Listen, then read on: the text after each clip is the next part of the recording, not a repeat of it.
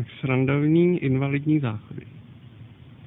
To by mě zajímalo, jak se sem ten invalida dostane s tím vozíčkem. Pojďme se podívat. No, asi mu to dá problém. No, leda, že by jel přes obrubník a přes trávu.